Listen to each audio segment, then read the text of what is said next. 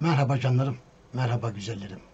2021 yılı tatlısıyla diyemeyeceğim ama bütün acılarıyla, felaketleriyle geldi işte geçmek üzere. Bugün son günü ve son saatlerini yaşıyoruz. Bilhassa ülkemiz çok kötü bir süreçten geçti. Zaten yönetemeyen bir demokrasi, yönetemeyen bir siyasi iktidar ve yokluk yılı belirsizlik yılı, öngörülemezlik yılı, bütün dost müttefik ülkelerle kavga, sürekli kavga ve hiçbir şeyin elde edilemeyişi. Bu bize şunu gösterdi. Demokrasiler gerçekten elbette şu ana kadar halen dünyanın en adil rejimleri. Ama demokrasilerin çok kötü, çok büyük bir zaafı var. Eğer bir ülke demokrasi uygulamak istiyor ve fakat halkı insani gelişmişliğini tamamlayamamışsa, din baskısı altındaysa, kolayca kandırılabiliyor ise, eğitimsiz ise, cahil ise, o ülkelerde yönetime halkın aynen kendisi gibi olanlar geliyor. Ve haliyle halkın aynen kendisi gibi olanlarda halkın o durumunu, o felaket durumunu, o cahilliğini, cehaletini istismar ediyorlar. Olan kimi oluyor? Olan aydın bir ülke isteyen, demokratik, laik, sosyal hukuk devletinden taviz verilmeyen, 3-4 yaşında çocukların Kur'an kurslarında beyinlerinin yıkanmadığı, uygar ya da muasır medeniyetler seviyesine çıkmayı gerçekten hedeflemiş ve çıkmak için hızla, samimiyetle ve sadakatle çalışan bir iktidar ve bir halk istiyor. Olmayınca haliyle işte içinde bulunduğumuz durumu yaşıyoruz. Bütün umutlarla da bu durumun geçeceğini ummak istiyoruz. Ben umuyorum, bekliyorum. Türkiye'nin gelişiminin önüne hiç kimse duramaz. Elbette bakınız aslında biliyorum bana kimleriniz kızıyor. Kendi pencerelerinden belki gerçekçi de olabilirler. Ama ben kendi gerçekçiliğimi anlatıyorum ki oy vermediğim halde 2003, 2008, 2009 hatta arasındaki Adalet ve Kalkınma Partisi iktidarı kötü şeyler yapmadı. Yanlışları yok muydu? Elbette vardı.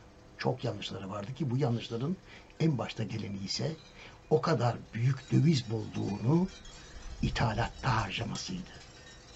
Yani üretim arttırarak yurt içi arz talep dengesini yerine getireceğine dışarıdan yüksek yüksek çok yüksek borçlar alarak alınan bu borçları yollarda, inşaatlarda, köprülerde, ıvırlarda, zıvırlarda hasılı üretime hiçbir katkısı olmayan sektörlerde kullanmasıydı. Bugün başımıza gelenler hani eskilerin dediği gibi bundan yaklaşık 12-13 sene önce başlayarak yediğimiz hurmaların bir yerlerimizi tırmalamasıdır. Asıl gerçek, en kötü ve en yalın gerçek ise tek adam rejimine geçtiğimiz yıldan itibaren yediğimiz hurmaların daha da çok bir yerlerimizi tırmalamasıdır. Bir başkası kimileri bana sevgili Ali Tarakçı ile katıldığım o programdaki cümlemin kullanılmasını sürekli hatırlatıp duruyorlar. Önemli değil. Sevgili Ali'cim de aradı. Birileri yanlış aksatmışlar. Demişler ki ya Memduh dede senin aleyhinde konuşuyor. Hiç halbuki öyle bir tek cümle kullanmadım gibi aksine sevgili Ali kardeşimi desteklediğimi söyledim. Ama orada e, halen tabii Gerçek TV'de benim Recep Tayyip Erdoğan suçlu ya da kusurlu değil, çevresi kötü gibi bir cümlem dolanıyor. O cümlemden pişman değilim. O cümlemin doğru olduğuna da kendime hala inandırıyorum. İnanıyorum daha doğrusu.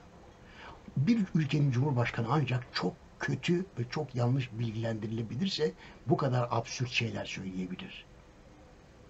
Bakınız yine yaptığı bir konuşma yılın son gününde berbat, çok kötü.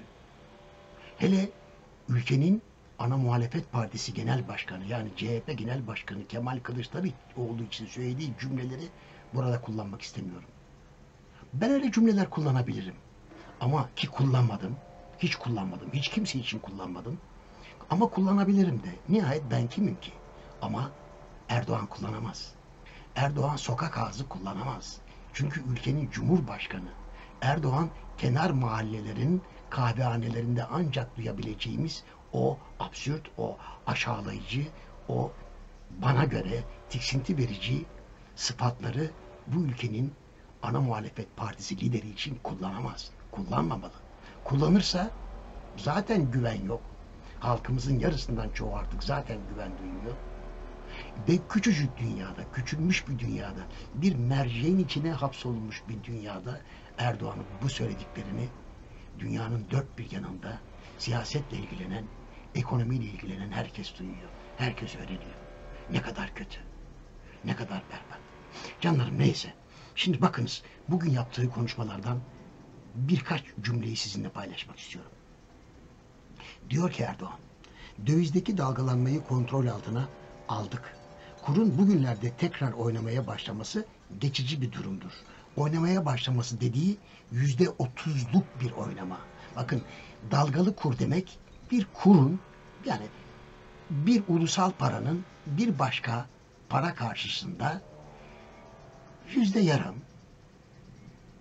binde iki buçuk, ne bileyim işte e, hadi diyelim ki yüzde bir belki, belki aşağı ya da yukarı gitmesi demektir. Buna dalgalı kur denir.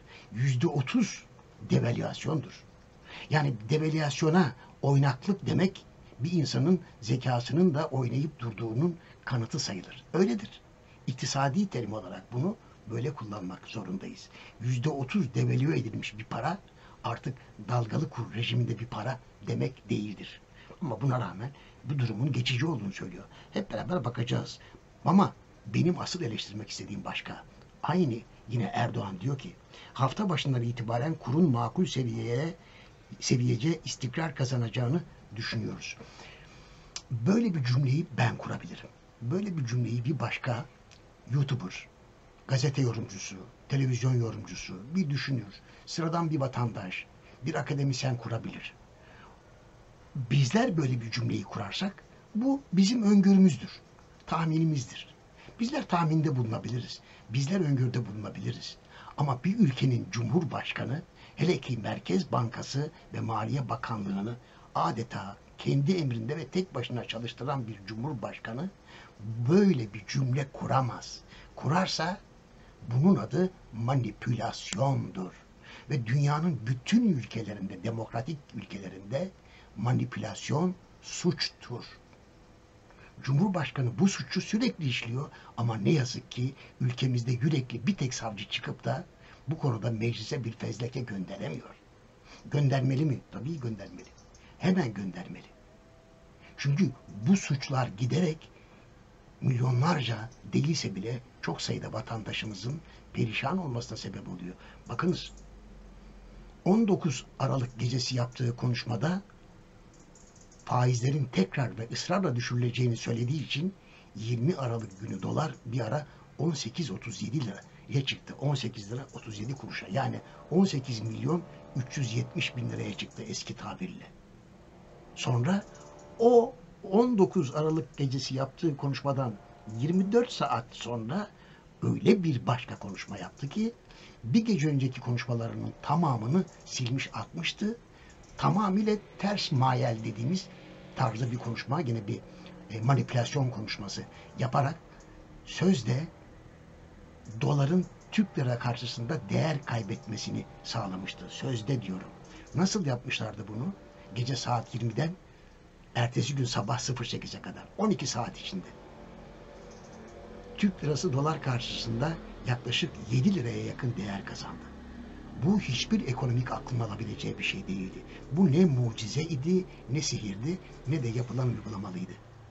Satıcı yoktu, alıcı da yoktu. Satıcı kamu bankaları varmış gibi yapıyorlardı sadece. Türkiye'de piyasalar kapalıydı. Türkiye'de hiç kimse bankalar arasında bile döviz bozdurabilecek konumda değildi. Neden? Bankalar döviz kurunun satışını 19,5 liraya, alışını 6,5 liraya düşürmüşlerdi. Kim elindeki kuru 6,5 liradan satar, kim elindeki TL ile 19,5 liradan kur alırdı ki? E peki ne oldu da düştü? E, anlatıyorum. Bu bir tablo satışı gibidir. Müzayedeye gidersiniz. Bir tablo vardır ortada. Fiyatı vardır. ama alan hiç kimse yoktur. Ondan sonra müzayedenin sonuna doğru birisi çıkar, üzerinde bin lira yazan tabloya mesela 300 lira der. Ondan sonra diğer bir teklif beklenmez. 300 liraya o tabloyu alır, satarlar karşı tarafa. Aynı şekilde kamu bankaları çıktılar. Belki de büyük ihtimalle işte 19,5 liradan kur satıyoruz dediler. Elbette kimse alan olmadı. Sonra sabah Türkiye'deki piyasaların açılacağına yakın belki 5, belki 8, belki 10 kişi büyük miktarda büyük miktarda olanları kamu bankalarından 10 lira 36 kuruşa satın aldılar. Bugün kur 13 lira 30 kuruş. Şimdi canlarım düşünebiliyor musunuz 10 lira 36 kuruştan döviz satın alan o büyük büyük büyük büyük hükümet yandaşı sözde iş insanları ne kadar büyük paralar kazandılar yine. Durdukları yerde. 1 milyar liralık döviz satış yapan TL olarak 270 ile 280 milyon lira kazandı. 1 milyar satan. Ya 280 milyon lira 1 milyarda Avrupa ülkelerinde 1 milyar lirada yüzde 28 geliri bir iş insanı ya da bir finansman kurumu yaklaşık 8-10 senede ancak kazanabilir. Bizimkiler bir haftada bu parayı kazandılar. Kim sayesinde? Manipülatörler sayesinde. Manipülasyon yapanlar sayesinde. Başka ne dedi? Bakınız ne dedi? Bu can bu tende oldukça faiz sebeptir. Enflasyon neticedir. İşte Türkiye'nin başını belaya sokan bu inatlaşma. İktisadi hiçbir literatürde böyle bir kuram yok. Böyle bir tez ortaya atan iktisatçı da yok. İktisatçı. Efendim sokak iktisatçılarını saymayız. Saraydakileri de iktisatçı olarak kabul etmeyin. Çünkü böyle bir şey yok. Faiz de diğer bütün maliyetler gibi bir maliyet unsurudur. Ham madde gibi, işçilik gibi, enerji gibi, ulaştırma gibi, kağıt gibi, ambalaj gibi, vergi gibi. Maliyetin unsurlarından sadece bir tanesidir faiz. Bu lafı edebilecek bir insanın ekonomi bilgisinin yakınından bile geçmemiş olması şarttır. Aksi halde ekonomiyle biraz ilgilenen, çok az ilgilenen birisi, maliyet muhasebesi biraz görmüş birisi ki bu lafı eden kişi muhasebeci olduğunu söylüyor. Nasıl inanacağız bilmiyorum. Faizin de sadece ve sadece maliyet unsurlarından biri olduğunu bilmiyorsa eğer onun muhasebecilik yapmış olabilme ihtimali sıfırdır. Böyle muhasebecilik olmaz çünkü canları. Ama bunu söyleyebiliyor. Fakat bu cümlenin aynısını Amerikalı rahip Brunson Türkiye'de cezaevindeyken de kullanmıştı. Hatırlarsınız Trump birkaç tane tweet atarak rahip Brunson'ın tahliyesini talep etmişti. Cumhurbaşkanından Türkiye'den. Biz birkaç gün yerine getirmediğimiz gibi ülkenin cumhurbaşkanı o dönemde başbakandı galiba aklımda kaldığı kadar. Yok cumhurbaşkanıydı pardon. Cumhurbaşkanıydı. Taze çiçeği burnunda cumhurbaşkanıydı. Bu cümlenin aynısını kurdu. Bu ten bu bedende olduğu sürece o rahip o papaz oradan çıkamaz diye. Trump 3-4 tane tweet daha attı ekonomimizle ilgili. 15 Ağustos günü gecesi hem de dünya piyasalarında 1 dolar 7 lira 28 kuruşa çıktı. Kaç liradan? 3 lira 95 kuruştan. Sonra iki gün sonra Rahip Brunson'ı tahliye ettik. Bir de altına özel uçak verdik Amerika'ya gönderdik. Şimdi böyle bir ülkeye bunları söyleyen bir cumhurbaşkanına dünyada güven olabilir mi? Kendi ülkesinin içinde iş insanları ve aklı başında halk gerçek kamuoyu inanabilir mi? Haliyle yine inanılmıyor. Yine bütün bunların hepsinin blef olduğunu biliyoruz. Ve canlarım bakınız 2021 senesinde dış politikada başarı yılı ilan edildi. Kim tarafından? Ülkenin Cumhurbaşkanı tarafından. O halde gelin 2021 yılında yaşanan krizlerin üç tanesine sadece en büyük üç krize bakalım. Neler olmuş? Buyurun. Ünlü Büyükelçi krizini bu yıl yaşadık. 10 ülkenin Büyükelçisi Osman Kavala'nın Avrupa İnsan Hakları Mahkemesi'nin aldığı karar gereğince tahliyesini istedi. Biz de kabadayılık yaptık değil mi? Böyle falan filan dedik. Ondan sonra 10 ülkenin büyükelçisi bir araya geldiler ve yine aynı şekilde hatta bir açıklama yaptıkları halde yani Avrupa İnsan Hakları Mahkemesi'nin kararını açıkladıkları halde medya ağırlıklı olarak iktidardan yana olduğu için Bu 10 ülkenin Türkiye'ye Avrupa İnsan Hakları Mahkemesi kararlarına uy çağrısına karşılık verdiği cevaplarla 10 ülkeyi geri püskürttüğünü, korkuttuğunu ilan ettiler. Canlarım, şimdi işte bu ay çok büyük ihtimalle en geç Şubat 15'te dananın kuyruğu tam olarak kopacak. O zaman bakalım neler olacağını göreceğiz. Başka? Doğu Akdeniz'de gerilim yaşadık. Haliyle Yunanistan'da da gerilim yaşadık. E ne oldu? Ne oldu şimdi? Hani orada doğal gaz bulmuştuk, doğal gaz arıyorduk, petrol bulmuş, petrol arıyorduk. Ne oldu mavi vatan? Nerede gemilerimiz? Ya, ya. Yine geri adım attık. Neden? Çünkü yaparız, ederiz diyoruz, yerde kalmaz diyoruz, bilmem ne yapıyoruz, intikamını ya da ne bileyim hesabını soracağız diyoruz. Hiçbir şey yapmıyoruz. Haliyle Şamaroğlan'ına dönüyoruz. Şamaroğlan'ına döndürülüyoruz. Değil mi canlarım? Bakın Doğu Akdeniz'de gerilim verilim bir şey kalmadı. Peki biz bir şeyler aldık da mı kalmadı? Yok. Gemilerimizi çektik hiçbir şey kalmadı. Bu iş böyledir. Başka F-35 uzlaşmazlığı ve S-400'ler. S-400'lere 2,5 milyar dolar para ödedik. Hala kuramıyoruz. İade de etmiyoruz. Öyle demokrasinin kılıcı gibi başımızın üstünde sallanıyor. F-35'lerin kuruluşuna ortak olduk. 1 milyar 450 milyon dolar da oraya verdik. Ayrıca her yılda 9 milyar dolarlık yaklaşık yan ürün yani yan sanayi olarak ihracat yapacak ve 9,5 milyar dolar %100 bize ait döviz elde edecektik. Ne oldu? O projeden de dışlandık. Ya bunlar mı başarı yılı? 2021 yılında diplomaside başarı yılı bunlar mı? Canlarım yıl 1983. Dündar Kılıç cezaevindeydi. 12 Eylül paşaları Dündar Kılıç'ı cezaevine atmıştı. Sonra çok fazla tutamadılar içeride 12 Eylül paşaları. Çünkü bir suç bulamadılar daha doğrusu öyle söyleyeyim. Dündar Kılıç'ı tahliye ettiler.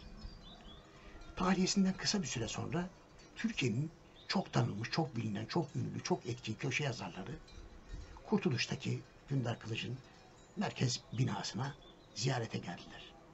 Ben Denizli oradaydım. Evet ben ama gazeteci olarak değildim. Dündar'ın ortağı ve genel müdür olarak oradaydım. Tabii ki büyük o o anda Türkiye'nin en büyük inşaat malzemesi şirketi olarak kurulmuştu şirket. İmmar AŞ isimli bir şirket. Gazetecilerden bir tanesi, köşe yazarlarından bir tanesi, halen Türkiye'nin duayen köşe yazarlarından biri. Dündar Kılıç'a dedi ki sizi ilk kez görüyorum dedi. Ama dedi itiraf ederim ben sizi iri yarı güçlü kuvvetli biri olarak tahayyül etmiştim. Oysa hiç de öyle birisi değilmişsiniz dedi. Ufak tefek bir insansınız. Öyle pek fiziki gücünüz de yok dedi. Adam haklıydı çünkü Dündar Kılıç 1.68 boyunda en çok en çok en çok olsa 70 kilo ağırlığında bir adamdı. Yani zayıftı, zayıf sayılırdı.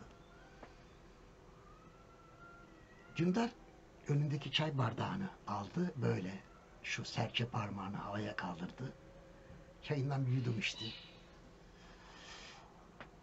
Evet dedi ben fizik olarak güçlü birisi değilim dedi. Ama dedi ben eğer birileriyle bir konuda uzlaşma sağlamak istiyorsam, bir şeyi yapmalarını istiyorsam sadece bir kere söylerim dedi. Yaparım, ederim, yapacağım, edeceğim gibi öyle defalarca sağda solda laf etmem dedi. Herkes bilir ki ben bir kere söylemişsem ikinciyi asla söylemem. Bir süre vermişsem o sürenin sonunda yapmam gerekeni yaparım dedi. Mealen bunlara benzer konuşmalar geçti. Önce gazeteciler, köşe yazarları birbirlerine baktılar. Sonra kocaman bir kahkaha koptu. Evet. Dündar Kılıç ufacıktı. Ufak tefekti yani. Bir erkek için ufak tefek sayılırdı. Midi boy. Mini boy değil ama midi boydu. Ama yüreği mangal gibiydi ve asla hiç kimseyi tehdit etmezdi. Sadece haber gönderirdi. Bir kere. Sadece bir kere bir haber gönderilirdi. E haber gönderdiği kişi Dündar Kılıç'ın istediğini yapmazsa e söyledi. Orada söyledi. Herkes bilir ki ben yapmam gerekeni yaparım. O kadar. Şimdi bakınız. Türkiye'yi yönetenler bugüne kadar sürekli müttefiklerimizi, dostlarımızı, yakınlarımızı, ilişki içinde olduğumuz ülkeleri sürekli tehdit ettiler. Sürekli. Yok kanlar yerde kalmaz, biz adama hesap sorarız, biz gösteririz, biz şöyleyiz, biz böyleyiz. Sonuç hiçbir şey yapmadık. her ileri attığımız adamı beş adım geri çekerek ne yazık ki yaptıklarımızı silmiş olduk. Bakın Birleşik Arap Emirlikleri'ne şerefsizler diye manşet attı. İktidar gazetesi Yeni Şafak. Şerefsizler diye manşet attı. Dünyanın en şerefli devletinin emiriymiş gibi kapıda karşılandılar. Kırmızı halılarla karşılandılar. Bakınız Birleşik Su Suudi Arabistan kralına ya da veliahtına neler söyledi ülkemizin Cumhurbaşkanı. Değil mi? Haklı mıydı? Elbette yerden göğe kadar haklıydı. Şimdi ise o veliahtla görüşebilmek için binbir deriden su getiriyor ve fakat ne yazık ki görüşemiyor. İsrail'e neler neler neler neler yaptık. Neler söyledik. Katiller dedik, çocuk katilleri dedik. Kim dedi? Ülkenin dönemdeki başbakanı söyledi. Şimdi İsrail'le en yakın dost ülke olan ülkelerden biri yine aynı o dönemin başbakanı bugünün cumhurbaşkanı değil mi canlarım? Böyle bir dış politika olabilir mi? Bunun adına şahsiyetli, kişilikli ve pozitif dış politika denilebilir mi? Bütün bunları ülkemin gerçekleri olduğu için anlatıyorum. Amacım kimseyi incitmek, kimseyi kırmak, kimseyi aşağılamak değil. Ama bu gidiş gidiş değil diye iki buçuk senedir burada anlatıyorum. Hatta üç, üç buçuk senedir anlatıyorum canlarım. Bugüne kadar bana iktisadi konularda hangi konuda söylediğimde yanlış çıktı. İçinizden birisi desin ki dede sen bunu bunu söyledin yanıldın desin. Lütfen. Hiçbir konuda yanılmadım. Bütün söylediklerimde, bütün uyarılarımda haklı çıktım, doğru çıktım. Bunların içine Devlet Bahçeli'nin Erdoğan'ın yanına neden girdiğine ilişkin tezim dahil. Orada da haklı çıktım. Bahçeli Erdoğan'ın yanına girdiğinde Erdoğan'ın yüzde 52 buçuk tek başına oyu vardı. Bugün Erdoğan'ın tek başına oyu yüzde 23. Başka ne söyleyeyim canlarım? Buradan bir kez daha uyarıyorum. Türkiye parlamentosu, bütün milletvekilleri şerefleriyle, onurlarıyla, haysiyetleriyle bir araya gelmeliler. Erdoğan'a bulunduğu makamdaki sorumluluklarını, yetkilerini değil, yetkilerini zaten aşıyor, sorumluluklarını hatırlatmalılar. Bunu parlamento ve yargı ortak olarak el ele yapmalı. Yargı ve parlamento eş zamanlı olarak Cumhurbaşkanı'nın yetkilerini aştığını, sorumluluklarının hiçbirisini yerine getirmediğini bütün Türk halkına, Türk kamuoyuna duyurmalılar ve gereğinin yapılacağını açıklamalılar. Aksi halde 2023 seçimlerine kadar erken seçim olmaz büyük ihtimalle bu şartlarda ama 2023 seçimlerine girdiğimiz zaman da çok büyük ihtimalle Türkiye'de demokratik, layık, sosyal hukuk devleti kalmaz. Endişem bu. Peki bu endişemin e, gerçekleşme ihtimali ne kadar derseniz yüzde on belki ama yüzde on da büyük bir ihtimaldir. Yüzde on çok büyük bir ihtimaldir. Bunu söylüyorum. Her şeye rağmen çok ümitliyim, çok umutluyum. Ensenizi karartmayın demekte ısrarlıyım, ısrarcıyım. Türkiye'nin geleceği çok parlak olacak, her şeye rağmen olacak. Biraz gecikecek sadece. Ben istiyorum ki gecikmesin. Bir an önce yola koyulalım. Bayrağı taşıyanlar, elinde bayrak olanlar dinlenmek için ya da keyif çatmak için bir tarafa oturup kulvarın üstünde beklemesinler.